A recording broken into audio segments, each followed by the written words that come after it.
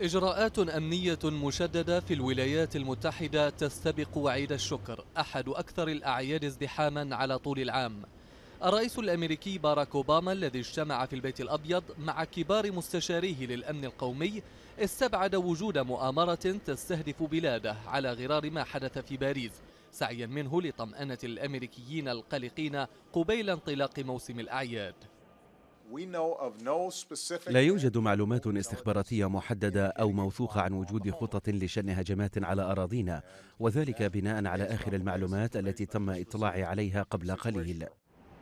وبالرغم من رسائل التطمين هذه إلا أن مكتب التحقيقات الفيدرالي FBI وجه إدارات الشرطة في أنحاء البلاد المختلفة باتخاذ أقصى درجات الحيطة والحذر فيما تم تكثيف الإجراءات الأمنية في مختلف المطارات والأماكن العامة وجميع المراكز الحيوية في البلاد. جميع الأجهزة الأمنية والاستخباراتية يقظة وتعمل على مدار الساعة لمراقبة الوضع الأمني في البلاد وحماية المواطنين.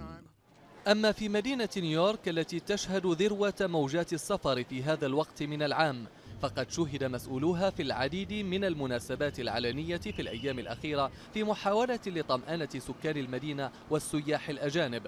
وذلك بعد نشر تنظيم داعش فيديو لتهديدات تشمل مدينة نيويورك والعاصمة واشنطن. كما أصدرت الخارجية الأمريكية تحذيرات لمواطنيها من السفر إلى الخارج. ملايين الأمريكيين يستعدون للسفر لقضاء عطلة عيد الشكر. حالة من الخوف الدفين تستبد بالكثير منهم سيما بعد هجمات باريس الأخيرة فيما تحاول السلطات الأمنية والسياسية التأكيد على جاهزيتها في صد أي مؤامرات قد تستهدف أمن الأمريكيين. محمد الأحمد سكاي نيوز عربية واشنطن